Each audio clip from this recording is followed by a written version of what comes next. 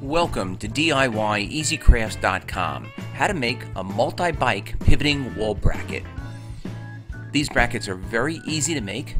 It just uses 3 quarter inch pipe available at any hardware store, a couple of 90 degree brackets, and a small piece of uh, 1 by 6 What makes this particular uh, design unique is that not only will it pivot with one or two bikes, um, so that you can get the bikes mounted closer to the wall, but this bracket holds up to three bikes.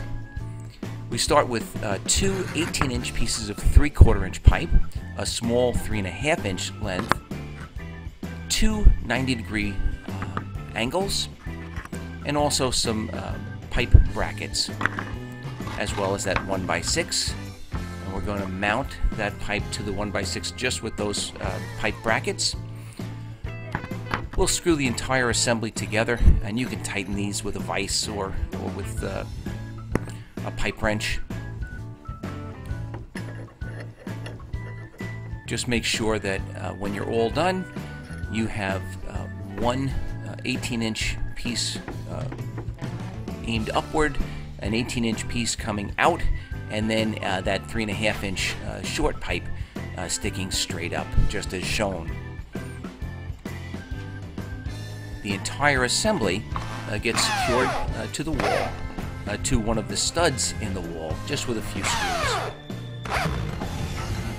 And then mounting the bike is as easy as just hooking uh, the front tire over the pipe, and then you can pivot it uh, either way, either to the, uh, to the right or to the left, and get it a little bit closer to the wall.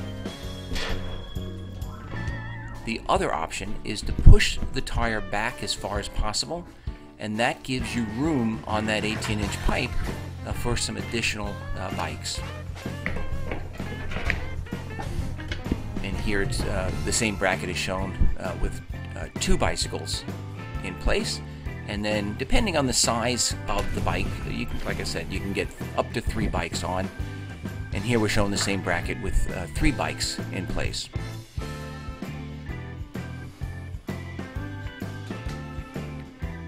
Uh, the pipes themselves are only you know a few dollars a piece. The brackets are a couple dollars. It's a very inexpensive um, way of organizing your garage, getting those bicycles off the floor, and creating some additional space, uh, you know, in your garage or in your shed.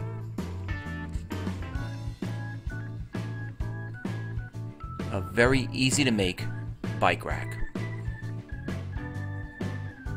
Uh, please check us out on the web at www.diyeasycrafts.com. Be sure to check out our other how to videos. And if you like this video, I ask that you please subscribe to this YouTube channel.